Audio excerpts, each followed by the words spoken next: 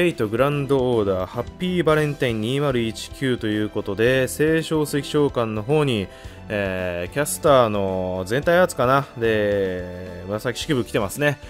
えー、この紫式部、僕の性癖に かなりぶっ刺さってるんだが、イラストが本庄ライターさんということで、えー、頼光とかね、あのー、酒呑とかが すげえ好きなんで、ぜひともね、こいつも当てて、うん、俺のカルデアに並べていきたいんだが、まあ、10連しか回さないけど、ちょっとね、年、年始に来たあの北斎、葛飾北斎の時のピックアップに頑張って回してね、宝具3までしたんですよ。そっか 頑張りすぎちゃったんで、ちょっと今回10連しか回せないですね。余裕があったらこいつ絶対引いてるんだけどな。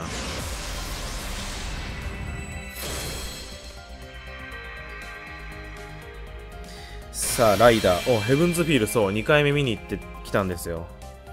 あのー、さくらのね、あれが欲しくて。ポストカードかな。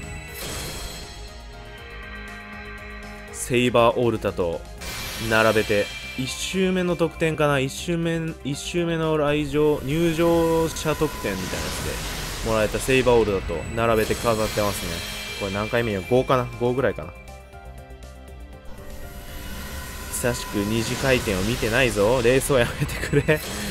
久しく俺は二次回転見てないんだ。ワンチャンロード入ったから来ない。来てくんない。星5レースをもさ、エモくない？エレシキガルとイシタルの、よいしょ。レースをすごくエモいと思います。っていうか今回のバレンタインイベントあれなんだよね、チョコもらうサーバント全員にボイスがついてるっていう、なかなかもちろんね、北斎からもらうんですけれども、おっと、バレンタインのあ星4レースをですね、いやー、これかな。これだけかな。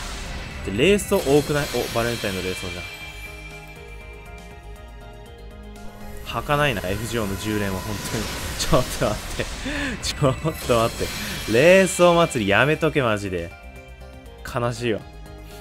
えー、ということですね。まあでも、星4のバレンタインレースが出たから、まあ、いいっちゃいいかな。